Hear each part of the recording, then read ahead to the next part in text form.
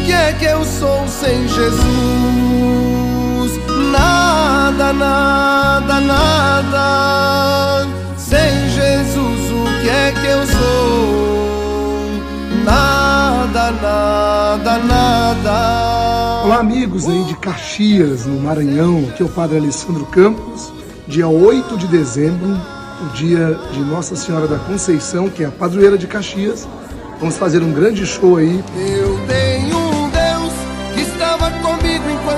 chorava. E eu nem sabia o quanto ele me amava. Esse é o meu Deus. Quero contar com todos vocês. Um grande abraço, uma bênção muito especial do Padre Alessandro Campos. E até lá, se Deus quiser. Faz palmas, faz palmas, faz palmas. O que é que eu sou sem Jesus?